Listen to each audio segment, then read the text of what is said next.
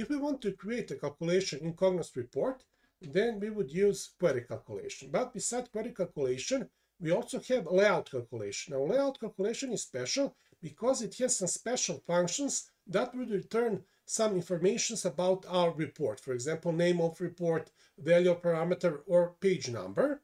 And then we can use uh, that, those informations to present them to the user or to change something inside of our report.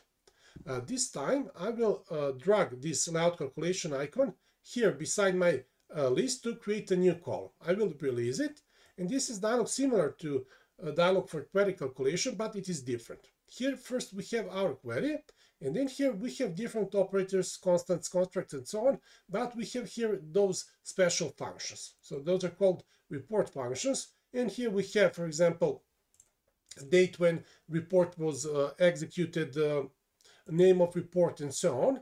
Uh, this time I will show you row number function. I will add this row number here. I will click on OK and we would get a new uh, column where for each row we would have its uh, number. If we now jump here to query, we will see that inside the query we don't have another column. So this is outside of a query and this is some kind of addition to our uh, report. So it doesn't uh, uh, create its values inside of query. Also, we can notice that uh, if I double click here, then inside of this dialog, we don't have that field here where we can uh, give a name to our column. Instead of that, we have just this generic uh, name text item, but we can change this. If I select this cell, if I unlock this cell, then I can double click here on this text item and I can type here something else. For example, I will just type this uh, pound sign. I will click on OK and I will uh, lock my cell. Now these special functions uh, can be combined with ordinary functions and uh, columns from our database. For that, uh, I will add this layout calculation again, and I will here create uh, another uh, formula. if we go here to functions, report functions, we will see that here below we have beside these special functions, we also have these ordinary functions, date between, uh, first of month and so on, uh, different functions for dates, numbers and uh, text. And I will use them to create new column. So I will type if, and then I will use uh, row number function, row number is equal to 3. Then uh, give me the value from the uh, column here. Else else return empty string. Now, when I click on validate, this uh, formula will not be valid. And the reason for that is because this is number and this is string. And if uh, needs to have results that are of the same data type. In order to uh, provide that, I will transform this here to text. I will use function number to string, which is available inside of layout calculation and now my formula will be valid and when I click on OK I would get this so I only have here in the third row and not in uh, other rows. I will now show you something similar but different. I will jump here to page 2 and here we have one cross tab. I will select header of this cross tab and then I will unlock these cells and I will add layout calculation here before the name of a month. And I will use a function that is similar to row number function and uh, that is column number function. That will return number of each column. So I will click on OK and we can see how that looks like, but uh, this is not the great view. So I will double click here on this layout calculation and I will change this a little bit. First, I will transform this number to text by using number to string function. And then I will add I will add a dot and, and space. I will click on OK. And this is much better. Now our view is much better. I will lock my cells. But I want to do something more. I want to apply conditional formatting to these uh, columns. For that, I will select this area and then I will go to style variable. I will create a new variable. That variable will be of Boolean type. I will give it a name var uh, odd even column. I will click on OK. and then I have to provide a formula that will uh, give that variable a value. And that formula will be, of course, column number. But uh, I don't want just to get a column number. I want to uh, have a true or false depending on that whether column is uh, even or odd. And to achieve that, I will use a mod function. And the second argument will be 2.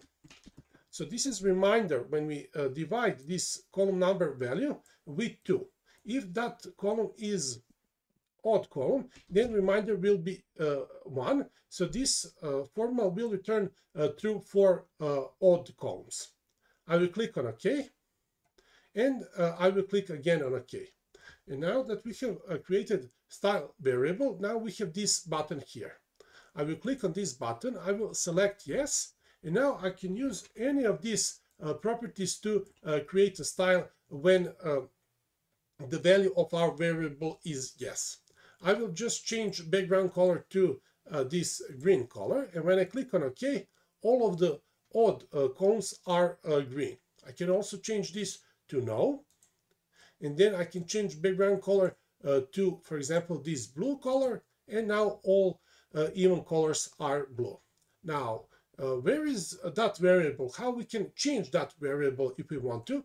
Well, for that, we have to go here to report menu to variables and here is our variable. If I double click on it, uh, then I can change uh, its formula. For example, I will change this number 2 to number 3.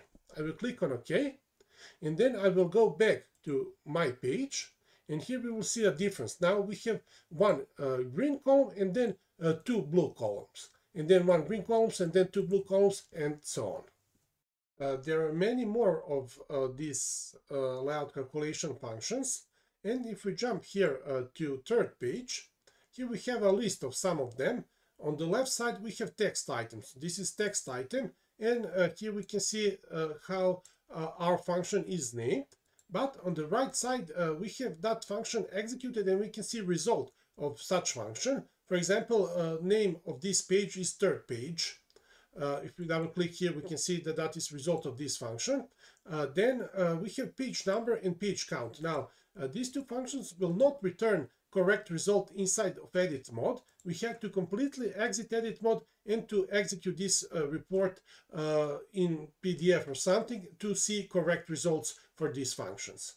Uh, this is the name of this report. Then report path is interesting function. Uh, here we can see that this report, the layout calculations, is actually placed inside of folder uh, my folders. And uh, if we uh, try to uh, fix this um, report path because it is really un unreadable, it's cryptic, we won't succeed. that is because inside the layout calculation, we don't have a lot of text functions. So we don't have enough text functions that would help us to uh, solve uh, this uh, cryptic report path.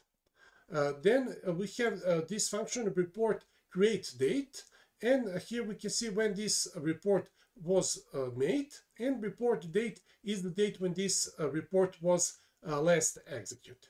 Now if we execute this report into PDF we can get result like this. Here we can see that uh, those two functions page number and page count are returning uh, correct results. Now here we can see that uh, this is page 5 and this is because uh, in Cognos we only have uh, three pages, but one of the pages is actually split into several pages in PDF. And uh, we also can see that total page count is also five.